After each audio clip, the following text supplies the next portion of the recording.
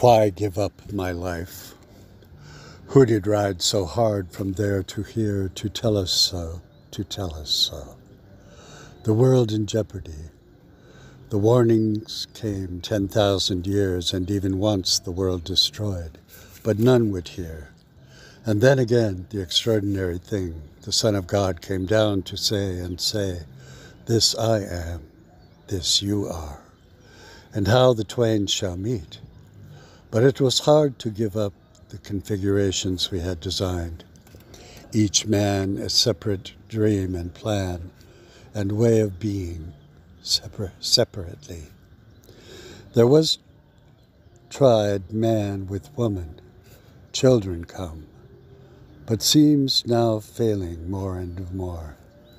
There is no ever marriage, no nurture of the nest, but all pushed out ungainly, unready, pushed unto money and success, thought happiness.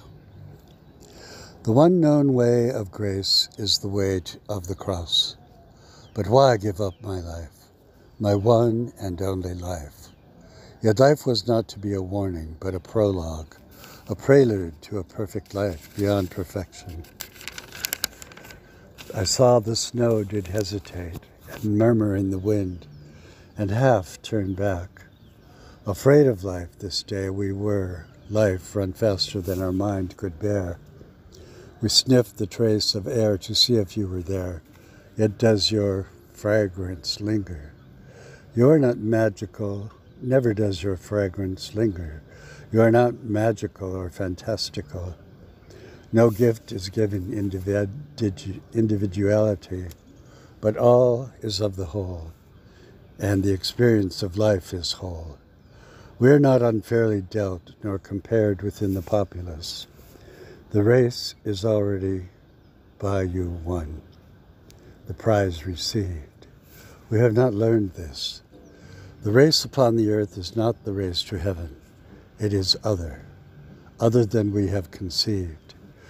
For it is humanly inconceivable the lives being lived are a scattering of thoughts and of moments, yet, like the snow, turn halfway back from the fate of falling to the earth or rising up. We are they who rise, yet not of our rising, but of being brought up to you. We are escaped from our own circumstances and wayward intents, and with the whole body of the people of God, taken up to all which cannot we cannot achieve.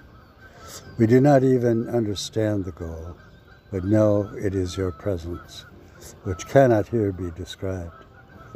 Let us not run with all those these about us who scamper to all nothing places, but rather pray your presence to us in the whole of men, your people, together somewhere and where your allness will be known. Amen.